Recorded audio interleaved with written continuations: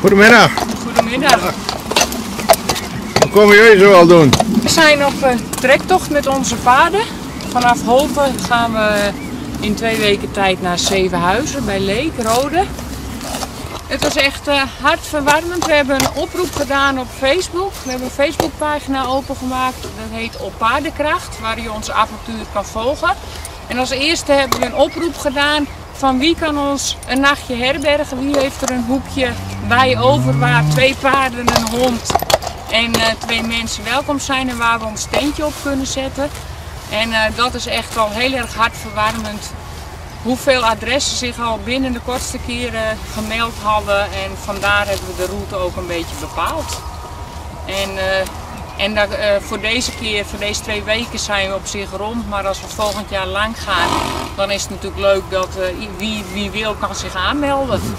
Dus wie het leuk vindt om ons avontuur te volgen en op die manier een beetje mee te dromen. Hoe ver kan je alles loslaten en toch ook afspraken maken. En we, de discrepantie in de tijd ook. Zo van alle tegenwoordig met alle sociale media, alles gaat heel snel. Maar wij verplaatsen ons maar heel langzaam. En nou ja, hoe, hoe werkt dat? Wat, waar wrijft dat? Waar wringt dat? En waar uh, helpt het elkaar heel mooi? Dus uh, dat is ook wel een beetje het spanningsveld en ook het leuke van het, van het opzoeken.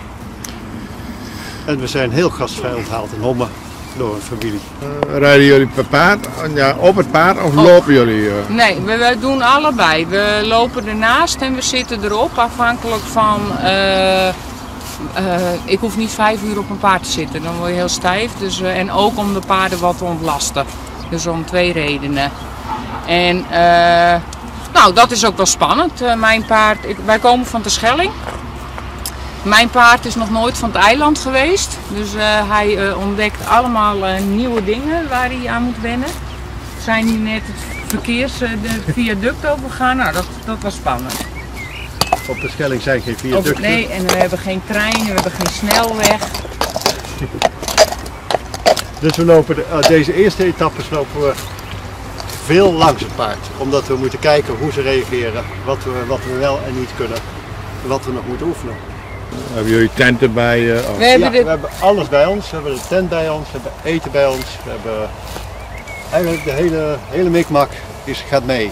En dat is ook natuurlijk nu even, even zien hoe, uh, hoe dat, uh, of er niet dingetjes vergeten zijn.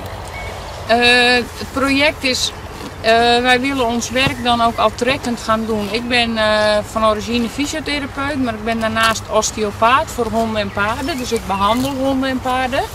Dus ik zou onderweg uh, honden en paarden kunnen behandelen. Dus als mensen dat willen, dan kunnen ze dan op Facebookpagina daar contact over zoeken. En dan komen we erheen lopen. En daarnaast doe ik coaching voor de mens. En dit project zijn we nu ook aan het begin en het eindpunt een workshop gedaan. Maar het is dan ook de bedoeling dat als je dat wilt doen en organiseren, dan komen we naar je toe wandelen. En dan te kijken, kunnen we vrij zijn, kunnen wij ons beroep uitoefenen al trekkend door het land? En kan het op die manier zichzelf bedruipen?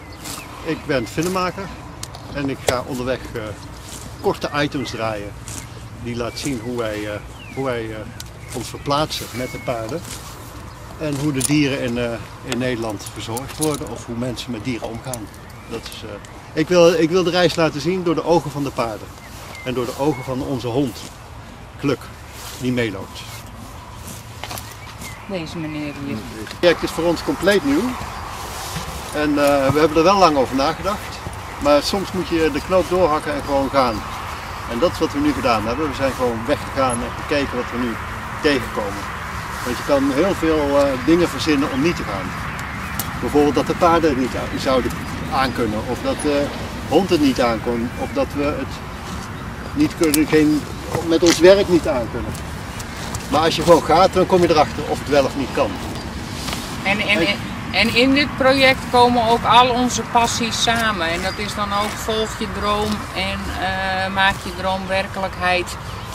En doe het. Dus ja, je kan je leven lang dromen of je kan het gewoon doen en eh, zien hoe het uitpakt en waar je uitkomt. Met alle leuke verrassingen en ontmoetingen van dien. En dan, en, en dan zie je ook weer hoe, hoe fantastisch Nederland is, hoe fantastisch alle mensen zijn. En een andere uitdaging is dat we ons nu de tempo laten bepalen door de dieren. Niet, niet dat wij helemaal gaan bepalen zoveel kilometer moeten we lopen, maar dat het mede bepaald wordt door wat zij aankunnen. En als we nu niet het viaduct over waren gegaan, waren we misschien daar wel gestopt. Dan hadden we daar bij de boer moeten aanbellen van mogen we hier blijven slapen. Zo is zeg maar Ja, de, ja, ja. de vrijheid of de, de aanpassing zoals wij lopen. Zoals we reizen. Ja, dus En dat is een enorme uitdaging. Want Ja. we zijn zo gewend om alles maar te organiseren. En alles in je hoofd al helemaal uit te plannen van dat en dat en dat en dat gaan we allemaal doen. Dat hebben we nu gedaan, maar we, het kan zo zijn dat we het loslaten. Elk moment kan weer veranderen. Met paarden is ook geen probleem die- dat je die bij je hebt. tot nu toe niet. Hmm. Nee, nee. En ik, ik- ik ben ook erg verbaasd hoe gemakkelijk de paarden het doen. Hmm. Hoe relaxed ze zomaar elke nacht weer op een vreemde plek staan.